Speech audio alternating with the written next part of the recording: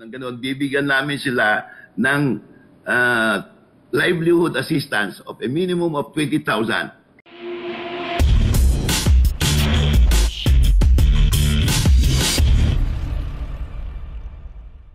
And we will focus on yung ating mga OFWs na nakauwi at yung mga hindi nakalis.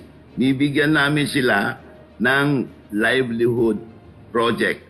Mag mamili sila ng mga negosyo, halimbawa, mag-put up sila ng karenderiya, mag-put up ng sari-sari store, magtanim ng ganito, magtanim ng ganoon. Bibigyan namin sila ng ah, livelihood assistance of a minimum of 20,000. Pero kung mas malaki ang kailangan nila, pwede namin silang pautangin interest-free.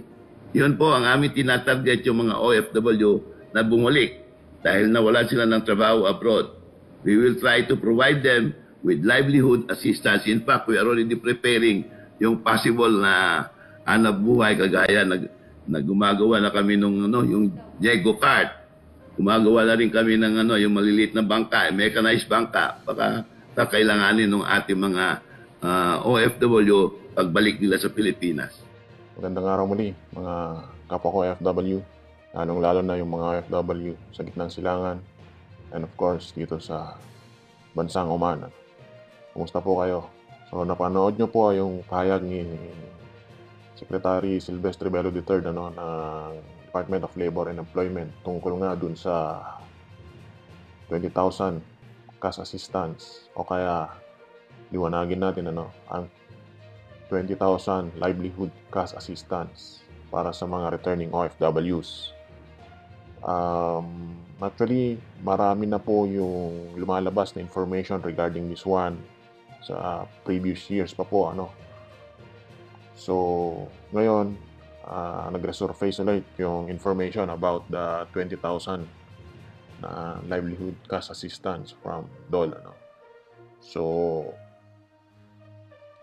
para naman po ano maliwanagan ng lahat ano ah nagsaliksik ako sa Google para naman ah, malaman kung totoo nga ba yung 20,000 na, na assistance na pinagkakaloob ng DOL ano po so based sa aking pananaliksik ano po napunta po ako dito sa webpage ng Department of Labor and Employment wherein nakalagay dito na in reint- reintegration service for overseas Filipino workers.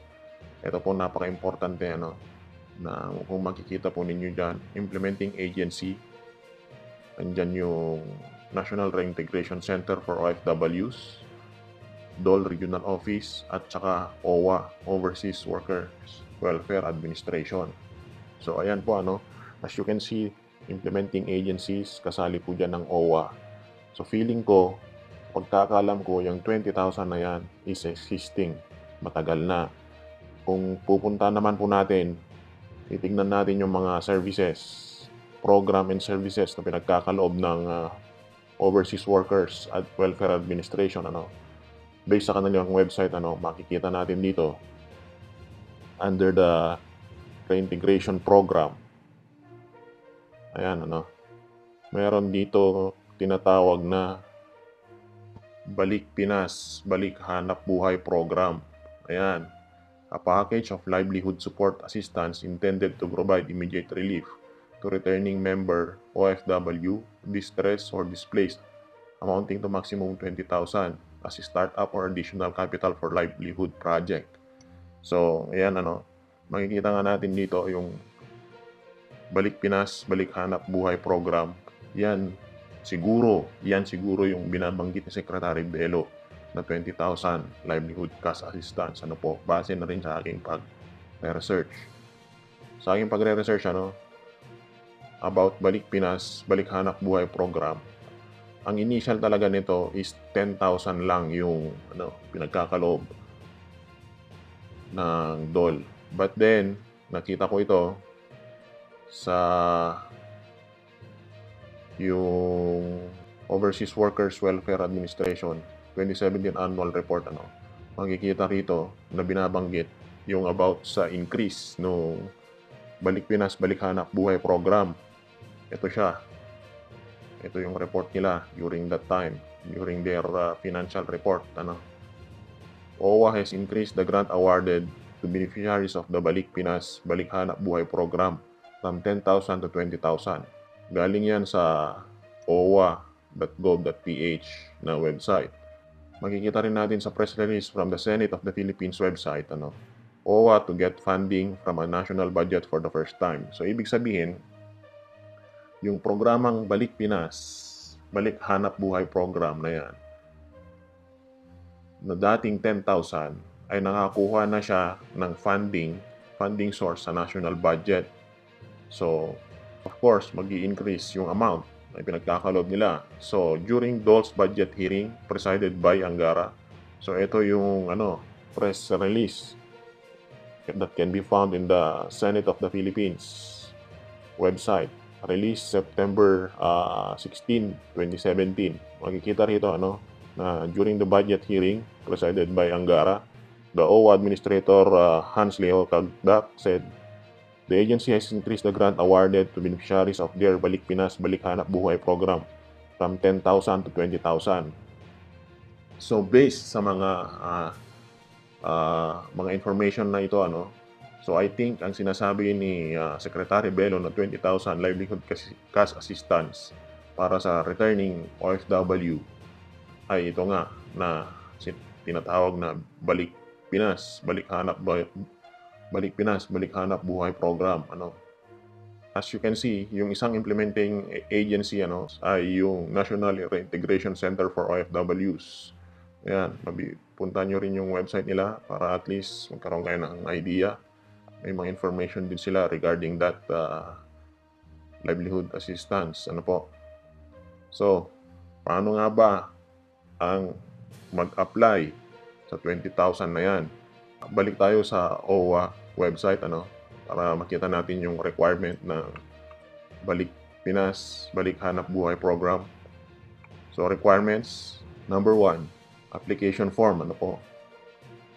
Siyempre, with undertaking that the cash assistance will be used solely for an for self-employment or for starting or expansion of livelihood project or business. Certificate of Entrepreneurial Deve- Development Training. Etong number two, ano, this will be provided by the, uh, I think, uh, DOL and DTI or I, OWA or DTI. Depende yan, ano. I would suggest na mas maiging mag-inquire kayo sa DOL mismo o kaya sa OWA regarding this one. Number three, business plan proposed approved by RWO Director indicating sustainability, feasibility of the chosen livelihood undertaking. Proof of repatriation or return to the Philippines. Ayan. Ito.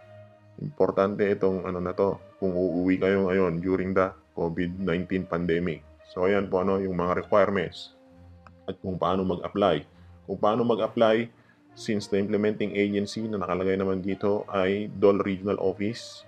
I think you better contact DOL Regional Office o kaya OWA Regional Office para po mas maigi yung ah, application nyo.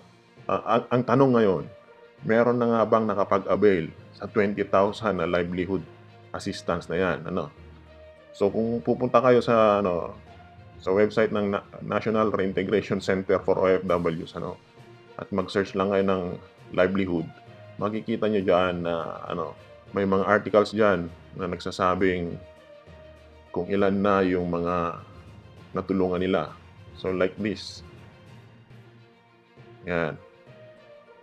Provides livelihood assistance to 3,538 returning migrant workers in 2017. Okay, yan. So marami yan.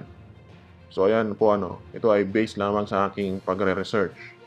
What I suggest you to do is, mas maigi sigurong magipag-ugnayan po kayo sa pinakamalapit na Polo OWA o kaya sa mga regional office ng DOL at saka regional office ng OWA para po mabigyang linaw ang inyong mga katanungan ano po. Kung gusto nyo makipag-ugnayan, ah tumawag na lang kayo sa 1348. Yan po yung hotline ng OWA at DOL para big, bigyang linaw ang inyong mga katanungan ano po. So anyway, So, yun lamang po ano sa aking pagre-research tungkol dyan sa 20,000 ka livelihood assistance. Maraming salamat sa panonood. Ah, let me know kung may kailangan kayong maliwanagan na topic and we will see kung makakagawa tayo ng video tungkol dyan. So anyway, stay home, stay safe. Pagpalain tayo ng Panginoon. God bless you all. And thank you for watching. Kung nagustuhan nyo itong video, click like. And if you love this video, please share it and subscribe to our channel.